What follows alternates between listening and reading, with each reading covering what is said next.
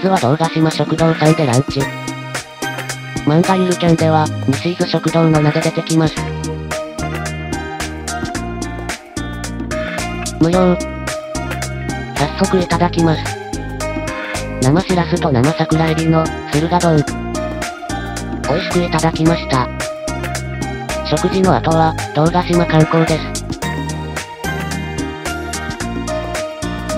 まずは、顔はめ看板で撮影。展望台へ、向かう遊歩道。遊歩道からの亀井は、展望台からの蛇島。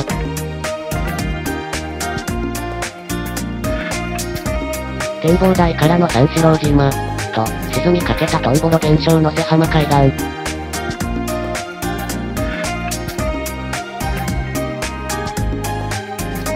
岩ツバメが飛び交う転送道。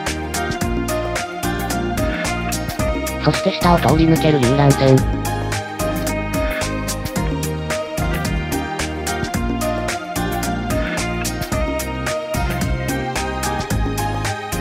からの、遊覧船乗船。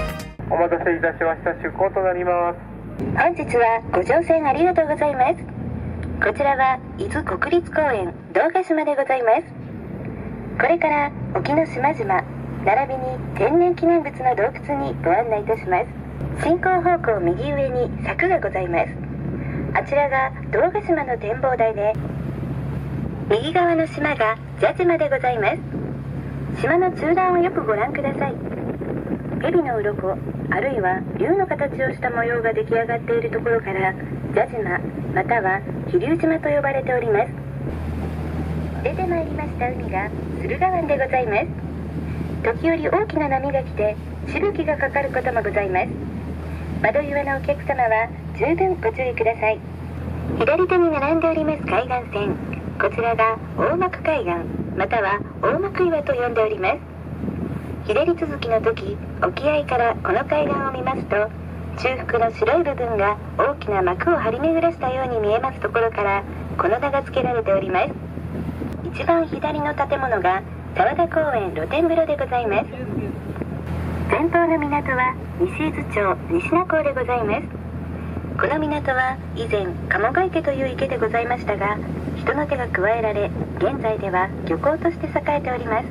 右側の島は竜宮島と申しますが島の下は四方に口を開けた空洞になっておりこの洞窟の中にたくさんの伊勢海老が巣を作っております。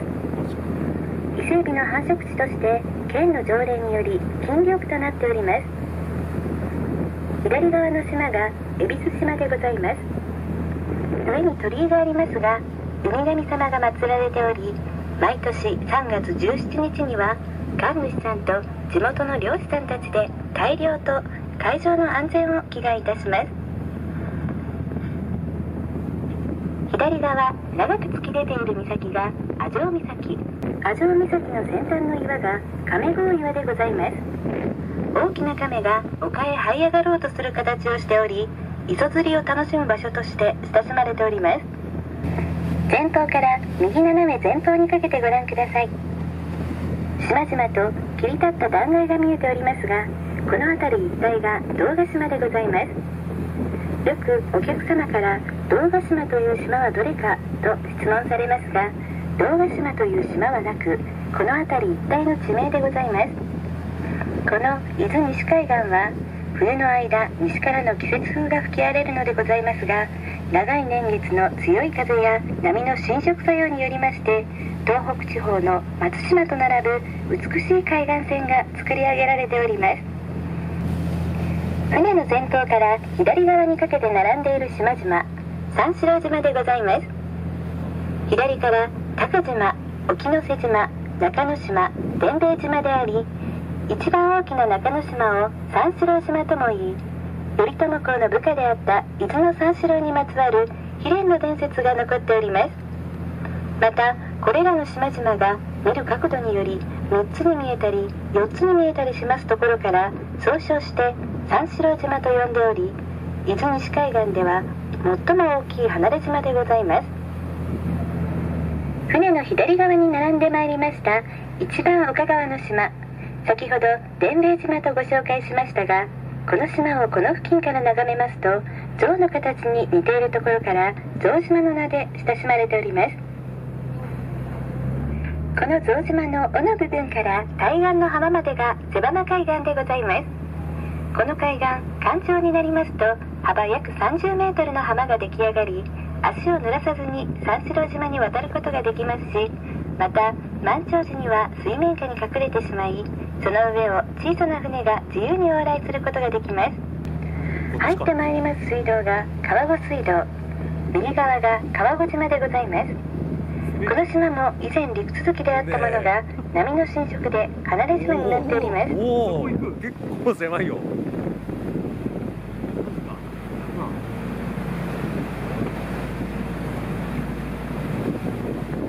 おお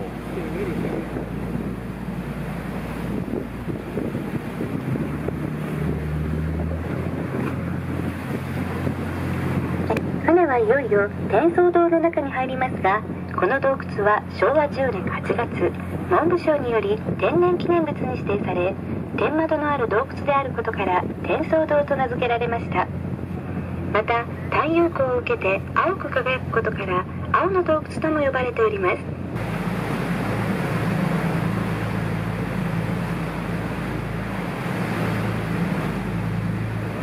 上をご覧ください直径10メートルほどの天窓が口を開けております。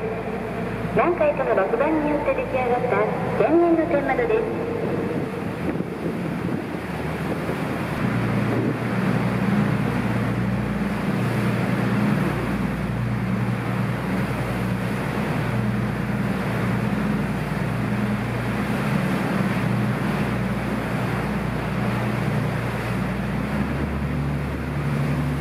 まもなく桟橋に到着となります。本日はご乗船いただきまして誠にありがとうございました。皆様の快適なご旅行をお祈り申し上げまたのお越しを心よりお待ちいたしております。ありがとうございました。思っていた以上に楽しめました。この後は、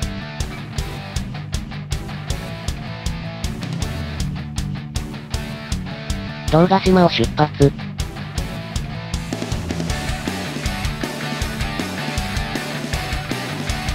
国道136号を南へ、県道16号へ入り、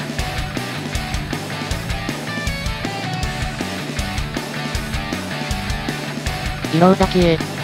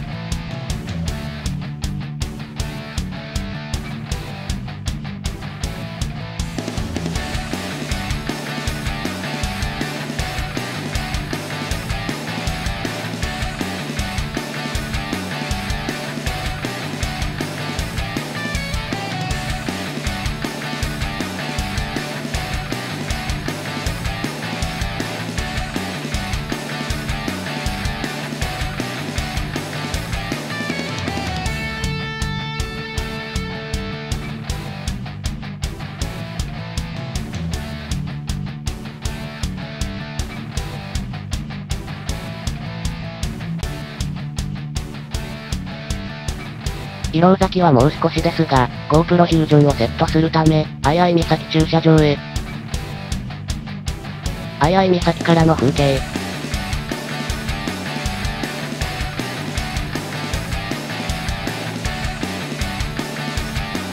早々に出発。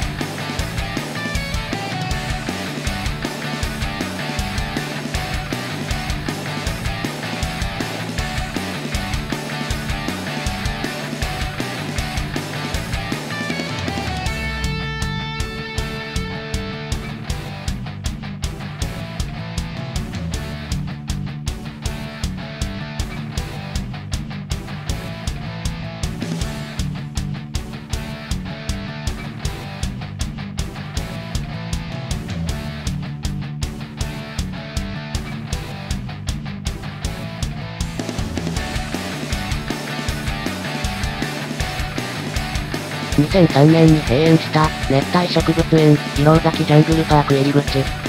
閉園前はジャングルパークを抜けて、広崎灯台へ楽に行けたのですが、仕方がないので、広崎漁港の方へ。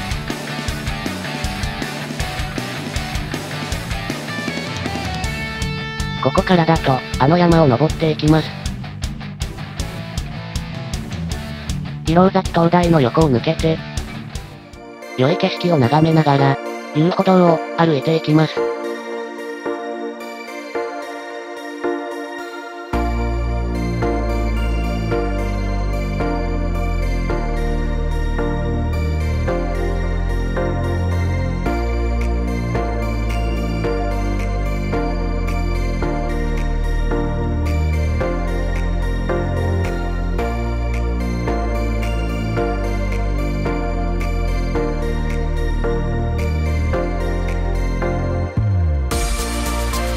先を歩いていた仲間も、記念撮影。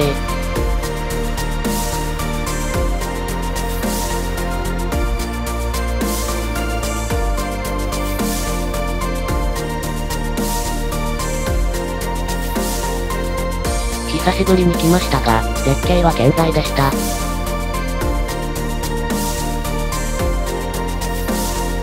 ここを降りると、伊老神社、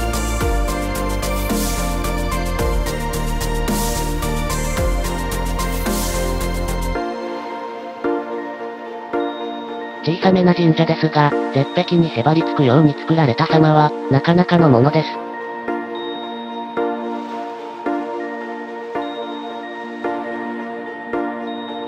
伊老神社からさらに先にある、伊老崎熊野神社へ行ってみます。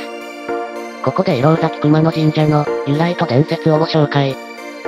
おしずという、名主の娘と、幸吉という、漁師が許されぬ恋に落ち、身分の違いで中を引き裂かれ、幸吉は色崎突端から約 9km も離れた三本島に流されました。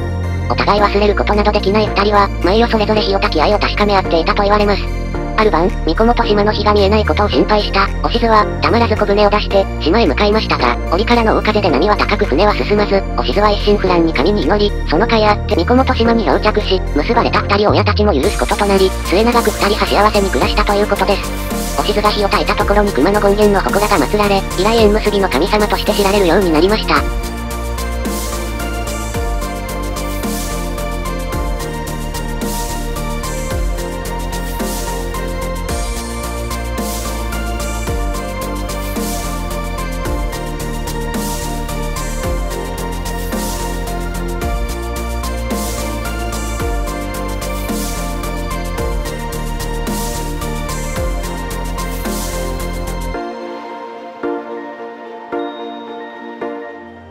城崎を後に、雲見に向かいます。少し遠回りして、まだ走っていない。県道16号、下田色松崎線を下田方面へ。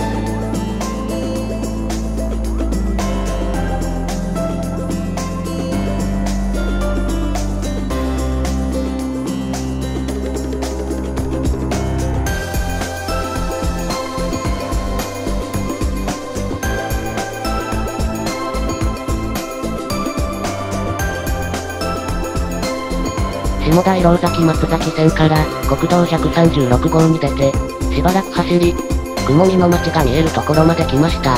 今夜の宿は、この街の中。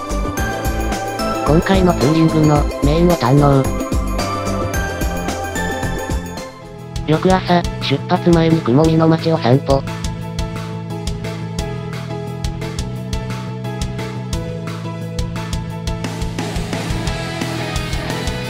本日、最初に向かうのは、近くにある、石部の棚だ。到着。展望台からの棚だ。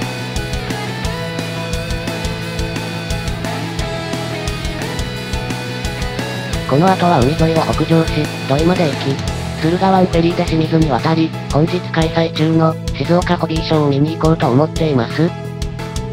都井港へ向けて国道136号を北へ、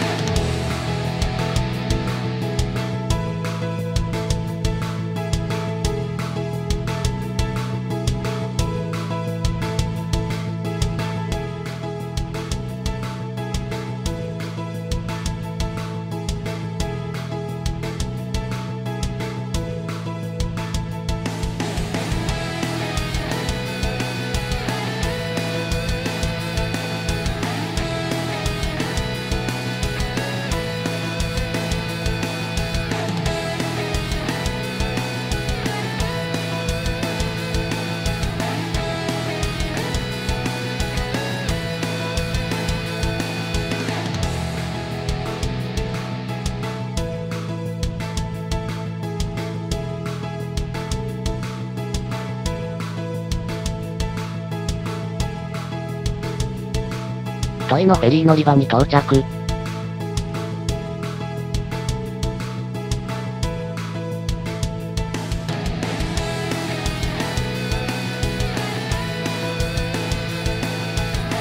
ェリーの出港時間を間違えていて、だいぶ待たなくてはいけないことが判明。協議の結果、自走で静岡ホビーショーに向かうことに、で、走り出してすぐに、ポツポツと雨が。少し走ったところで、雨は本降りに。レインウェアを着用。しばらく頑張って走るも。この後、土砂降りとなり、今回は、解散となりました。